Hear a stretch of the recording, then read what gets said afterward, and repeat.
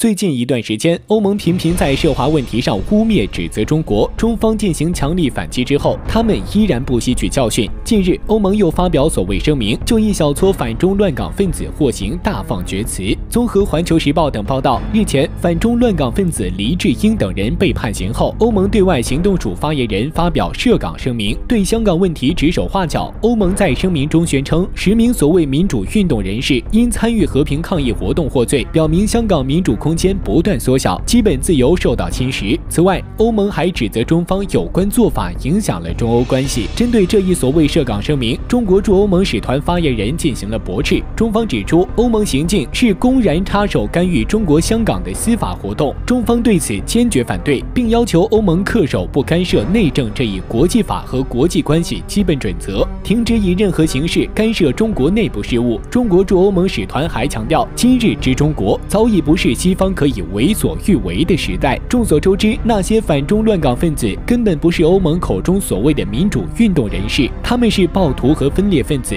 获罪完全是罪有应得。欧盟公然为反中乱港分子招募，暴露出其双标的丑陋面目。当美国国会大厦受冲击时，美国政府称这是国内恐怖主义，欧盟政客也定义国会山事件是暴乱。然而，面对分裂分子扰乱香港社会秩序，欧盟却宣称那是和平抗议活。动这完全是罔顾事实、信口雌黄。欧盟悍然干预中国香港事务和中国内政，再次显示其破坏香港稳定的险恶用心。一段时间以来，欧盟在涉港问题上说三道四，甚至不断对华出招。据悉，日前欧盟还计划发表一份声明，攻击中国在港颁布新的安全法。然而，这一反华阴谋因被其成员国匈牙利反对而破产。不过，有报道称，欧盟并不死心，计划于五月份重新讨论这一问题。显而易见，正在破坏中欧关系的不是中国，而是欧盟。但中国与欧盟经济关系紧密，如若中欧关系受影响，欧盟利益也势必会受损。如果他们肆意染指香港事务，干涉中国内政，不听劝告，执意一条道走到黑，必会遭到中方的强势回击。此前，欧盟以所谓新疆人权问题为由，制裁中方有关个人和实体。中国迅速进行有力反击，就已经彰显了中方维护国家主权、安全和发展。利益的意志和决心，中国有意愿也有能力痛击欧盟及其他西方国家。正如中方所警告，现在早已不是欧美可以横行霸道的时代了。当今中国也容不得西方国家为所欲为。